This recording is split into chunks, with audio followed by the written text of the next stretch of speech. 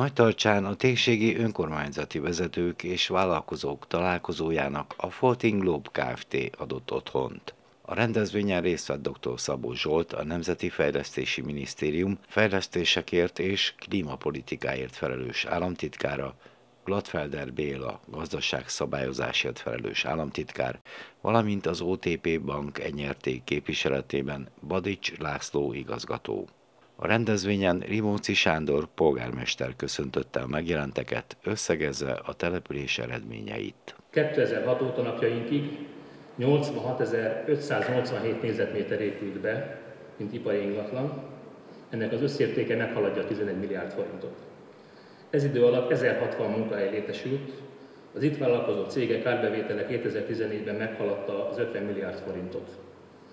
Településünkön a munkanélküliség ismeretlen fogalom. Ezen számok ismeretében elmondható, hogy szeretett falunk kedvelt befektetési célpont Pest megyében. Kiszámítható, fenntartható, felelősséggel tervezett helyi adópolitika jellemezte, jellemzi Nagytarcsa község önkormányzatának ciklusokon átívelő ö, jogszabályalkotó munkáját. Mindezekért köszönet illeti a település hivatalának dolgozóit, köszönet illeti a képviselőtársaimat, bizottsági tagok elnökeit, tagságát, akik felelős döntéseikkel a település haladása érdekében politikamentesen segítették munkánkat. A következőkben dr. Szabó Zsolt államtitkár szólt a pályázati lehetőségekről, összefoglalva, hogy miként érdemes a vállalkozásoknak gondolatilag felkészülniük az új uniós ciklusra. Fogjanak össze, fogjanak össze önkormányzatok között. Tudják, mekkora erőt jelent, ha nem azt mondom, hogy én 2000-es vagyok és én pályázok, hanem azt mondom, együttesen fejlesztünk egy dolgot, ebből itt ez valósul meg, ott az, ott ez. Például egy szociális ellátórendszer, vagy egy gyermekjóléti rendszer. És együttesen 15 ezeren vagyunk, vagy 14 ezeren, és együttesen adunk be pályázatot. Nem lehet rá nemet mondani. Fogják össze a civil szervezeteket. Azért, mert a civil szervezetekkel való együttpályázásnál, mondjuk a működtetés föntartásnál már jól együtt lehet dolgozni, például 100% intenzitás miatt. És lesznek külön a civil szervezetek kiírt pályázatok. Egyházak. Ugye vannak olyan helyek, ahol a egyházi épületek mondjuk elhanyagoltak, de nekem kellene. Akkor megbeszélem az egyházzal, ők pályáznak, ők 100% intenzitással, és használni fogom arra a feladatra, arra az ügyre, amit szeretnénk.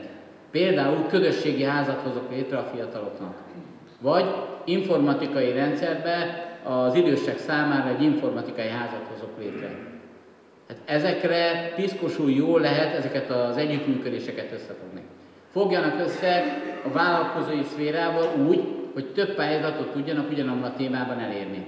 Van, aki lehoz egy üzemet, van, aki az utat megcsinálja hozzá mondjuk egyedi kormánydöntés alapján, és van, aki mondjuk beviszi az infrastruktúrát. Ezekre mind pályázni lehet, és aránylag magas intenzitást lehet elérni, 100%-ot, hogyha jól rakom össze. A árvizes, belvizes, szennyvizes, egyéb ilyen kérdésekben. Ott is sokkal jobb, ha több önkormányzat összefog, vagy több intézményt összefogok.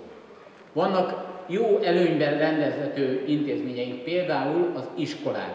Ugye az iskolákat a KRIK tartja fönn.